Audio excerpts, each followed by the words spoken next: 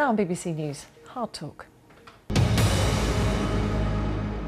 Welcome to Hard Talk with me, Zeinab Badawi, from the London Coliseum, where my guest is French born ballerina Sylvie Guillem. For more than three decades, she has dominated the world of ballet and has pushed the boundaries of the genre. At the end of this year, she retires. She is undoubtedly one of the greatest dancers of her generation, but she'll also be remembered as Mademoiselle Non for being too assertive in her career. We talked to her about that, as well as her environmental activism to save the planet. Sylvie Guillem, welcome to Hard Talk. Thank you very much, Zeinab. You are arguably the greatest ballerina of your generation, and yet the irony is you never set out to be a ballet dancer. What is the sort of lesson in that?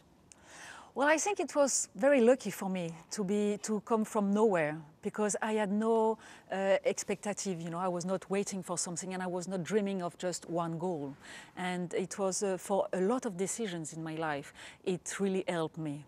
Mm -hmm. So you actually started off wanting to become a gymnast, and when you were 11, you were uh, sent to the Paris Opera Ballet for a year's training, and um, that's when you discovered that actually it was ballet that really excited you? Yes, I had a, a year um, when I was doing gymnastic and dance. You know, I was uh, living the, the life of the little rat, we call that in Paris Opera, the little uh, uh, pupils of dance. And at the same time, I was doing gymnastic.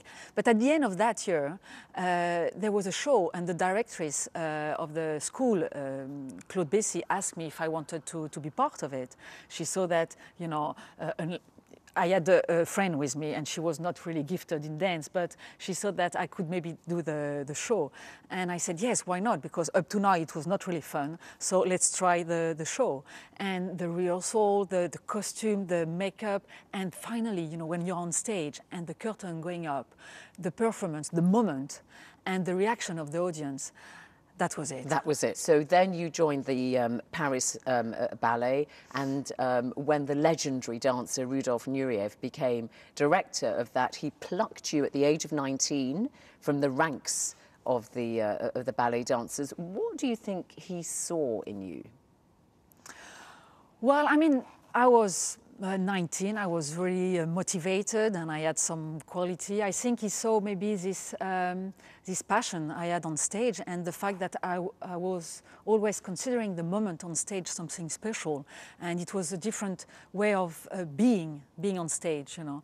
And uh, we were lucky we were really lucky. We were a bunch of young people, very hungry, very motivated. And you were and dancing you with this great name. But I have to say, Sylvie, because you fought with um, Rudolf Nureyev, or rather you disagreed yeah, with him about matter. some of the choices he made for you. It's not that. It, it didn't matter, you know. It's, uh, he was someone really intelligent with a vision, and he gave us the opportunity right away.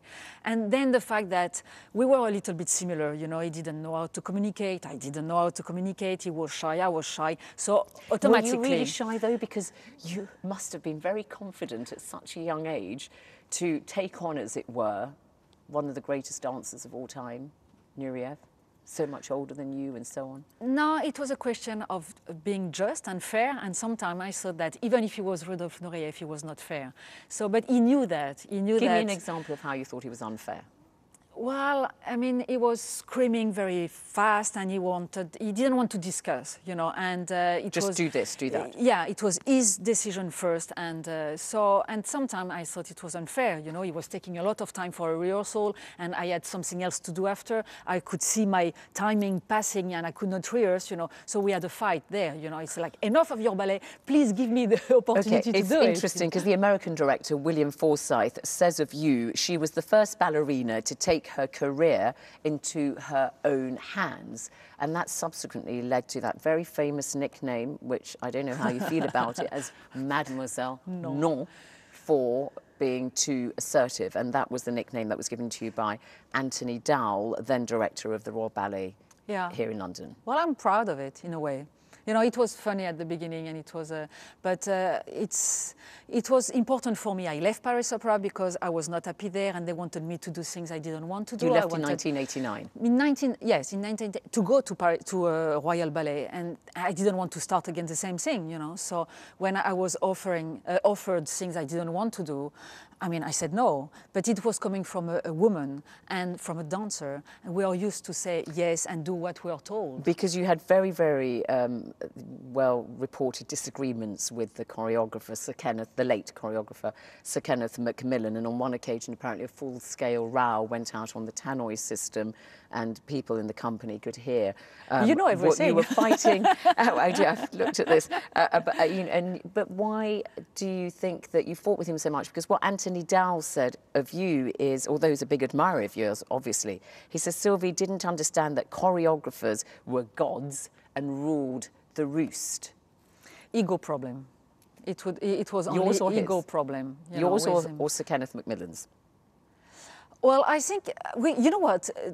With all those years and all the people I met around, I realized that my ego was very, very small compared to a lot of other people. And I think in that one, it was his ego, you know, because he approached me as being a French boring star. Uh, French, yes. Star, I'm not the one deciding. Boring, I don't think so. But it was not anything artistic, you know, it was more personal.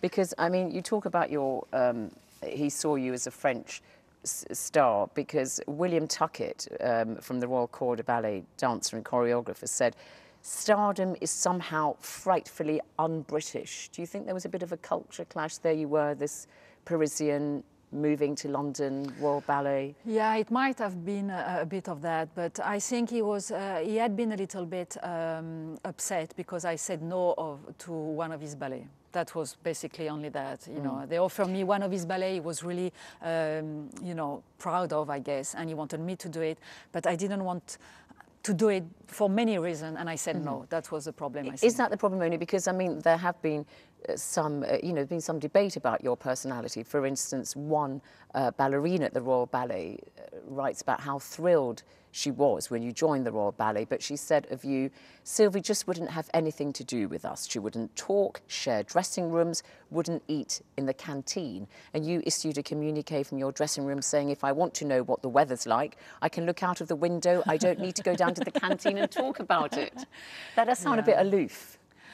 No, I mean, you have to uh, understand that I arrived, I was 24, I left Paris Opera, I was very shy, my English was very bad, and, and then no one in, at the Royal Ballet helped me with the English, you know. And I discovered after a lot of people were speaking French, but no one helped me. So automatically, and also I lived through a different, um, a difficult time in Paris Opera, so it's not easy to make friends right away and then be disappointed.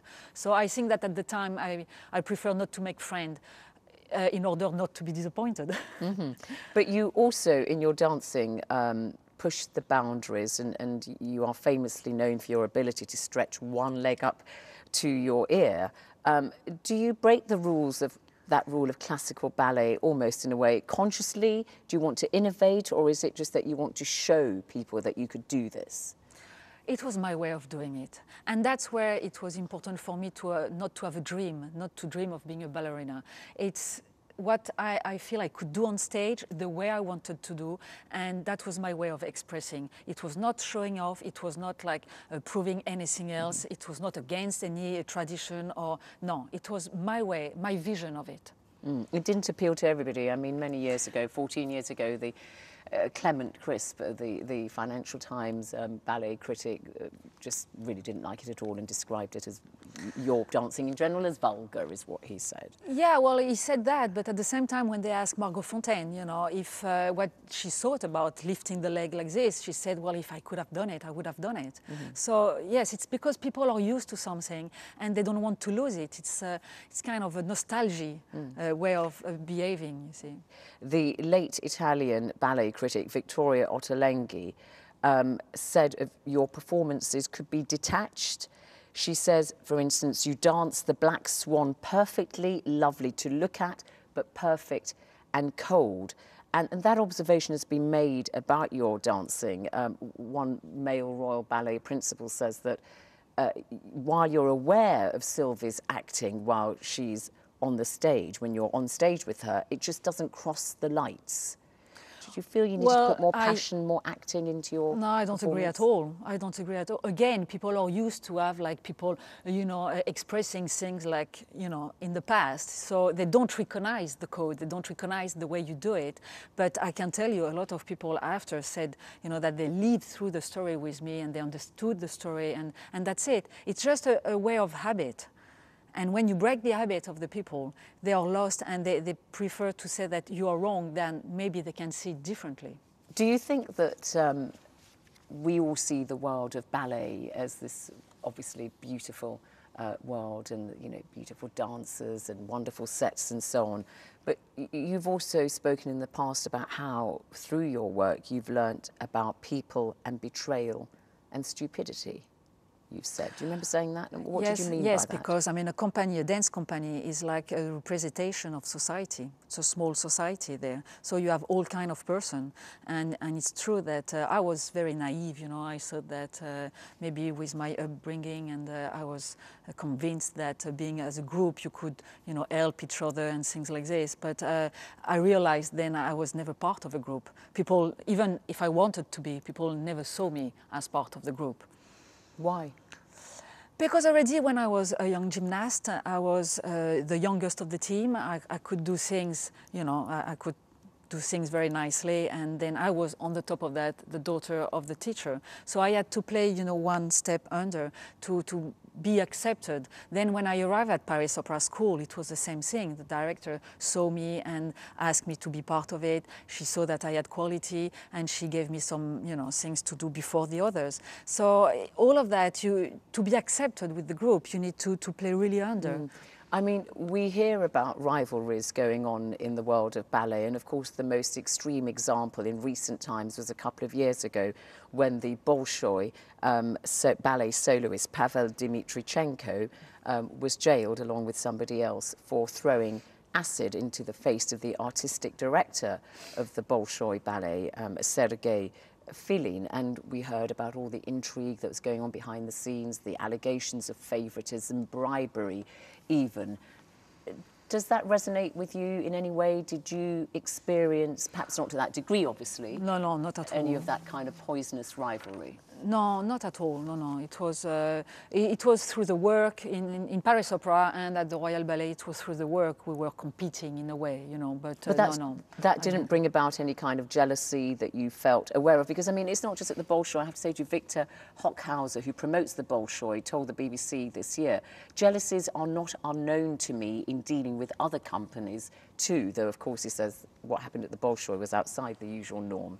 But you must have seen things No, as I time. said, it's uh, the same than in a bigger society, you know. So you have the same kind of uh, admiration, hatred, jealousy. You have that, you know. Human being is there also as a dancer. Everything that is good about it and everything that is bad.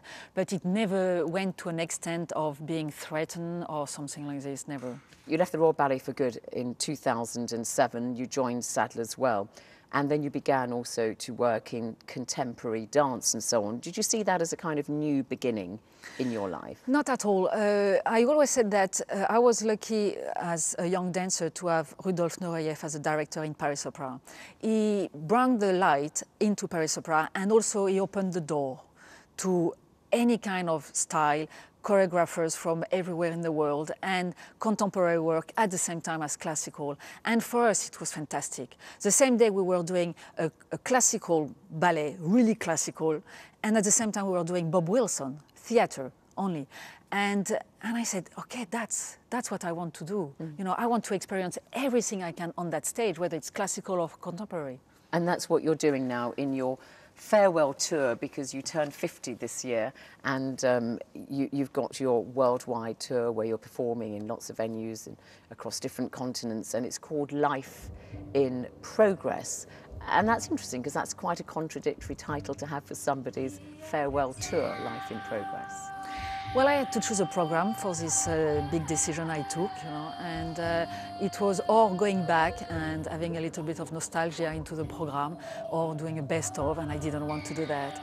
And I said, well, the best way to, to end, you know, it's to go on the way I did up to now. And you're working with um, famous choreographers like Akram Khan, Mats Ek, William Forsythe, and so on. But you've asked, you've got a new duet that's been created for you with the Italian dancer Emanuela Montanari, and that's quite unusual, isn't it, for one ballerina to perform a duet with another ballerina? Well, maybe it is, yes, but it's uh, something I had never experienced. So, and uh, I thought it was a, a good uh, choice also for the, the type of uh, choreography of Russell Maliphant. And also, I tried to choose someone that really wanted to do something, you know. And Emanuela Montanari is, uh, is a dancer that is really happy to be there and wants to know and wants to work. So, it's a nice experience. Are you making a kind of stand there for ballerinas. You said earlier on that you know people saw you as being too assertive because they were used to ballerinas being doing what they were told. I mean, do you almost see yourself as do you see yourself as a feminist, for instance? Well, of course, yeah. It's a lot of things to be done for women. You know, we think that we, we made a lot of progress, but yes, yes, I am. Uh, but not in the wrong way, you know, mm -hmm. not in the silly, little things. Uh, I, I, think that it, it's true that woman doesn't have the her place in the world. And I think it doesn't make the, the, the world is unbalanced mm. because of that still. And especially for women in ballet, we hear a great deal. I mean, obviously, uh, everybody in ballet, be they male or female, suffer a lot for their art because of the, you know, punishing exercise schedules and so on. But there's a lot of emphasis put on the size of ballerinas and, you know, the fact that we know that there are eating disorders which affect ballerinas disproportionately to other women and so on. I mean, you, have seen those pressures, presumably. Well, I've seen it, but again, you know, uh, it's really in the mind of the people that what we do, it's a sacrifice. I mean, we are lucky to do that. We are lucky that finally we do something that we like. Ask around how many people in, in the world do things that they like, that they choose. So that's what I'm doing. And most of the people who go on stage, it should be th that way. So one day someone asked me, was it a sacrifice? Not at all. It's a lot of work, yes. It's a lot of time, a lot of effort, but it's great. And I chose it. So yeah, and sometimes you have people who are doing it because the parents are pushing them and then they start to have psychological problem, then they start you know, eating mm. disorder and all of that. But in overall, it should be uh, uh, something of passion. Really, because I mean, uh, the, the, Cuban dancer Carlos Acosta has said, dancing is not an easy life. We work extremely hard and we pay a price. People often don't see that side of it. So it's a pay, it's a price to pay, but I prefer to have you know a bit of difficulty to walk in the morning than to have to wake up every day and go to a, an office or to do a job that I don't want to do, which is really a, you know it's only one life. This one is a place where it's extraordinary moment that you are living. So yes, you have a, a, price to pay. Yes, it's difficult, but it doesn't matter. It's not made for the people to know that, mm. you know. And also, people come here to dream. You are not going to show that it's difficult to do it. So when you get out of bed in the morning, sometimes you feel stiff and. I mean, since I am 20, you know, it's, it's, just part of it. It's part, part of being of a ballet yes, dancer, even if you have problems with joints and so on, and hips or whatever in the many years to come. I would not change. I would not change my uh, my job. I, I, mean, I'm doing that for 39 years now. Mm. You know, I would not change anything. Mm. You are, um, you've talked about how when you do retire at the end of this year that you want to engage more with some of the causes that you are attached to, in particular Sea Shepherd, the Conservation Society, and you're wearing their T-shirt there. Yes, and it's a society yeah. that protects ocean wildlife, and you were on the Faroe Islands last year along with other celebrities, Charlie Sheen, Pamela Anderson. You're a vegan. Um, but do you what do you say to critics who might say, look, oh, you're another celebrity lending your name to another cause? Is that how you see it, or do you see it as uh, uh, you know, again, those things. Uh, I realized that since I'm doing that, uh, I changed my life five years ago, and I decided that yeah, something triggers something in me, you know. And uh, I want the people to have this kind of trigger also to open their eyes and maybe do their part. So I can do it because I go in the theater and I touch, you know, more people than when I go to the restaurant and you have a table of four people. And if among those people, some people can open their eyes and change their life and do something, that's great. When you left the Faroe Islands uh, last year, 14 activists were arrested uh, after you had gone. Does that concern you at all that sometimes activism might border on the side of illegal activities or possibly legal activities? No, what bothers me is that you put in prison those people who try basically to, to save uh, the life, uh, um, that they are fighting for the respect of life and for a future. They go to jail, but the people who are destroying, like know, illegal the, whaling, for the, instance, the planet. Yeah. yeah, well, I'm big business businesses, you know, multinational. They are, you know, it's legal for them to destroy the world, whether it's with pesticide, whether it's, you know, by uh, fishing, overfishing. All of that is legal it's destroying or cutting the forest. You know, it's all of that is oxygen, all of that is a future. They are not, it's not a problem. But the, the people who want to say, okay, listen, this is not right, this is not right, they go to jail. because think, they I are mean, disturbing. But you say you that because, I mean, you're a vegan, you say you don't believe in a single animal dying for you. Um, and when you look at the fuss that has been created by the shooting dead of uh, the, the wonderful lion in Zimbabwe and the, the dentist from America who did it, he says, inadvertently and so on. I mean, there's been a lot of fuss, backlash against that kind of thing. People aren't complacent, are they?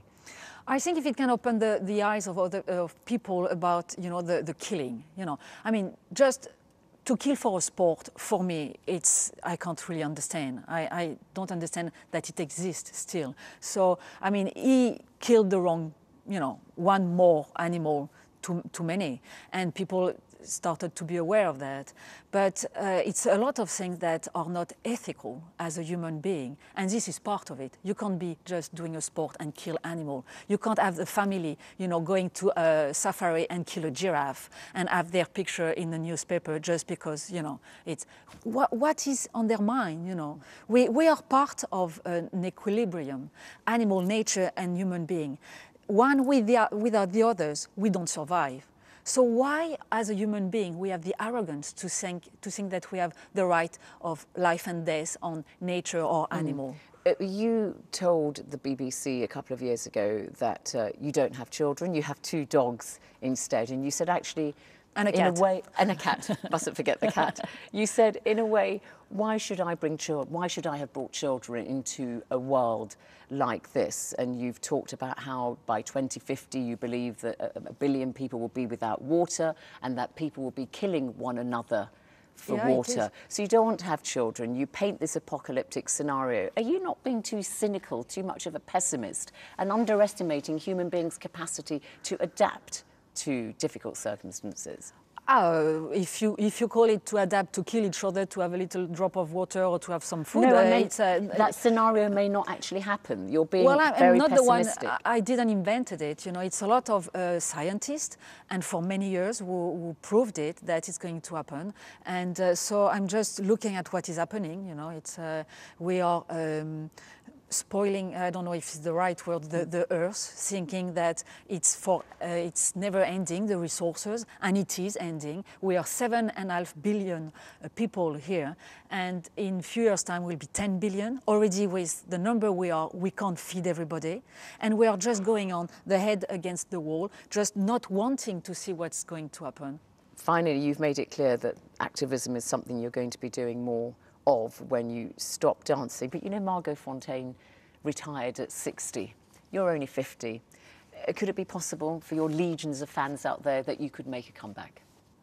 No, no, no, I don't think so. No, no. I decided that the decision was hard enough to take, you know, and uh, so uh, I decided that the, the, the, career as a dancer, the way I'm doing it, with the energy and the motivation I have, that's going to be it this time.